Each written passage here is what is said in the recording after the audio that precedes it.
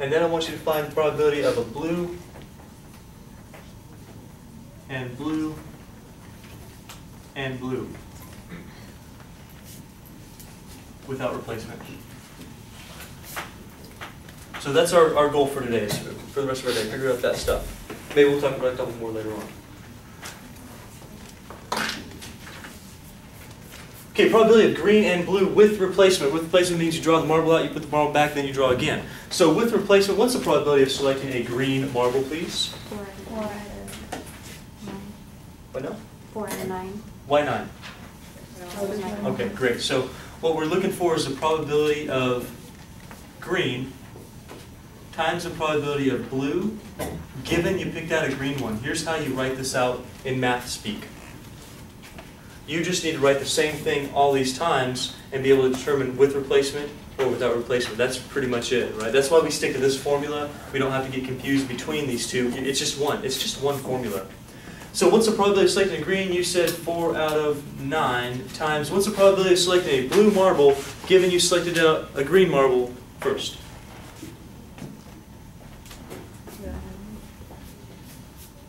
You okay with the green marble? Four to nine.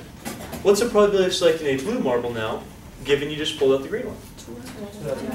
Why out of nine? Sure, this is with replacement. So there's still two marble, two blue marbles. There's still nine marbles total.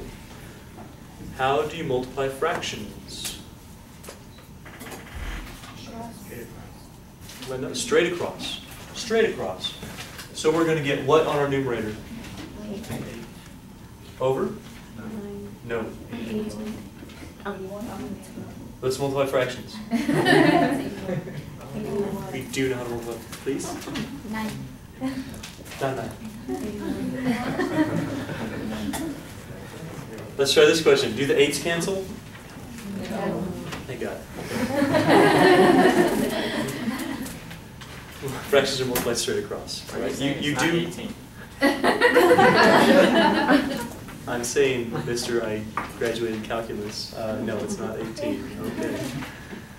Yeah, no, it's we, we multiply straight across. You simplify as you go as well. Nothing simplifies here, so we have 8 over 81. You punch that into a calculator, you find me a decimal. Notice how that's a relatively small probability. So I say, what's the probability of selecting a green marble, putting it back, and then selecting a blue marble? It's pretty low. It's not up there. It's not like 50-50 or something like that. It's pretty low probability. Okay, let's do the green and blue without replacement. So this would be the probability, it's going to be identical. Probability selecting the green times the probability selecting the blue, given you just selected the green. Um, what's the probability of selecting the green? Notice how this one's the same, right? Probability of green, that's, that's just there. That's your first marble. That's not going to change. Times, can you tell me the probability of selecting a blue marble, given you just selected the green marble, and you kept it out? Two out of eight. Good, there's still two blues, but there's only eight marbles. How much is that going to be? You could put 8 over 72, however, this does simplify, so you need, do need to know how to simplify fractions. 4 goes into 4 one time and into 8 two times. True? Mm-hmm. 2 goes into 2 one time and into 2 one time. You get 1 ninth.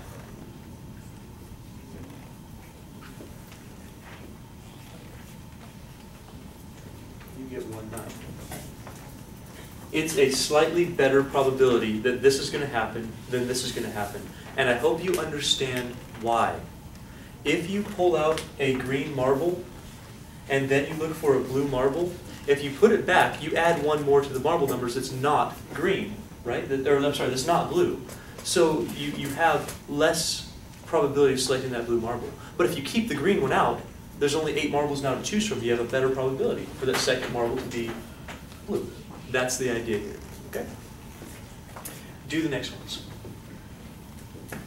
Please, please.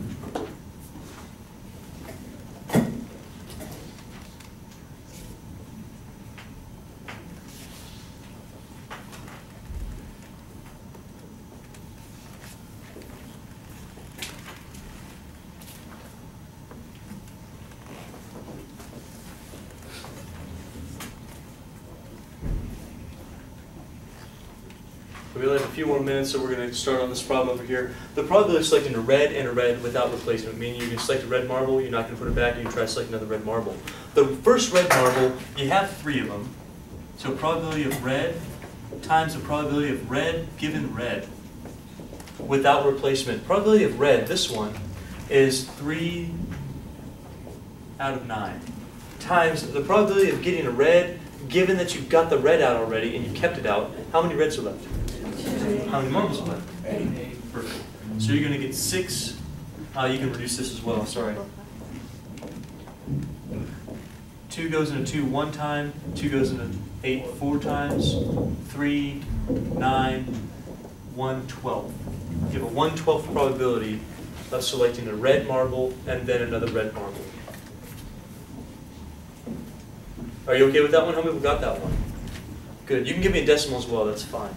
How about blue and blue and blue? Well, this would be blue, given you got a blue, given you got a blue. So, what's the first one? Blue. What's this probability of selecting your first blue? Times, what's the probability you're going to keep it out, by the way, and select another blue?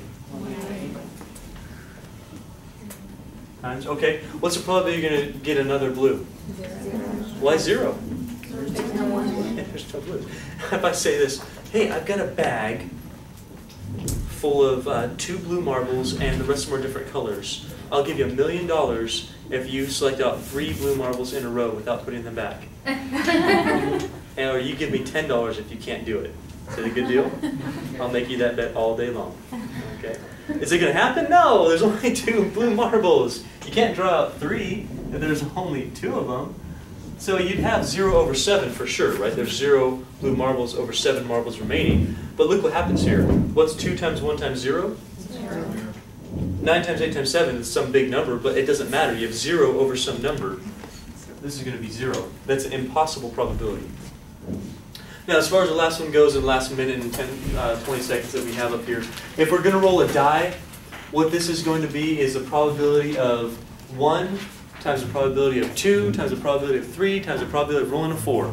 Because all these things are independent. The dice doesn't affect each other. So this probability would be probability of 1 times the probability of 2 times the probability of 3 times the probability of 4. They're independent events. Those probabilities aren't affecting each other. So you would have 1 sixth, 1 sixth, 1 sixth, 1 sixth. Or someone takes 6 to the 4th power, what you get. Anybody? One thousand two hundred and ninety-six.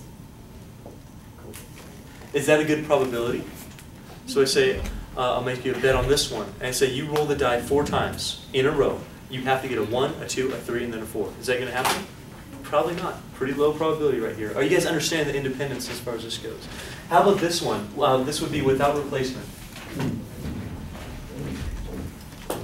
Without replacement. Probability of the ace. How many aces would you have to start with? Out of times, how many kings would you have? Out of? Explain why 51. Okay, times how many queens? Four. Out of? Four jacks out of 49. Four tens out of 48. If you multiply those, you do your simplification, I don't know what the numbers would be, but you are not going to have a very large probability, it's very small. So this would actually be the probability of getting any straight just by drawing cards out. You go, oh, here's, you just draw five cards, randomly draw five cards in a row. This, whatever this equals, is going to be the probability of getting a straight out of the deck of cards. How many understood today? I'm sure that probability stuff. Very good. Fantastic. Very